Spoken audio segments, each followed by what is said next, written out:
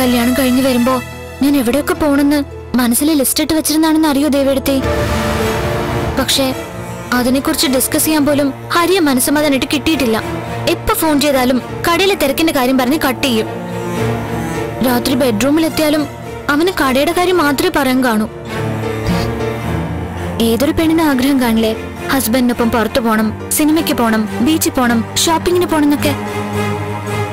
ഹരി എന്റെ മനസ്സ് അറിയുന്നില്ലെന്നുള്ള വിഷമം എനിക്കുണ്ടായിരുന്നു. എന്തായാലും അവന് മനസ്സിലായില്ലെങ്കിലും ദേവിയടുത്തേക്ക് എന്റെ മനസ്സ് മനസ്സിലായല്ലോ. ഒത്തിരി സന്തോഷായി. അതുകൊണ്ടല്ലേ ഇപ്പൊ ഞങ്ങളെ തനിച്ച് വിടാൻ പ്ലാൻ ചെയ്തത്? പക്ഷേ അപ്പോ അത് ഞാൻ ഒറ്റയ്ക്ക് എനിക്ക് മനസ്സിലായി. ദേവിയടുത്തെ ഒറ്റയ്ക്കല്ല ബാലേട്ടിനും കൂടി പ്ലാനിട്ട് തീരുമാനിച്ചതാണെന്ന്. Anyway thanks thanks a lot ഇപ്പൊ എന്റെ മനസ്സിൽ എത്രയും വേഗം വൈകുന്നേരം ആയാൽ മതി എന്നുള്ള പ്രാർത്ഥന മാത്രമേ ഉള്ളൂ.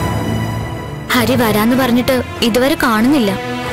അവനൊന്ന് നേരത്തെ വന്നിരുന്നെങ്കിൽ ദേവിയെടുത്ത് പറഞ്ഞ പോലെ കുറച്ച് നേരത്തെ ഇവിടെ ഇറങ്ങായിരുന്നു.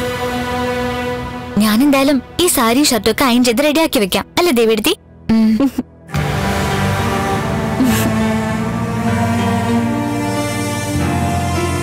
ഈശ്വര ഇത് നാഗ പുലിവാലാവുന്ന തോന്നുന്നത്.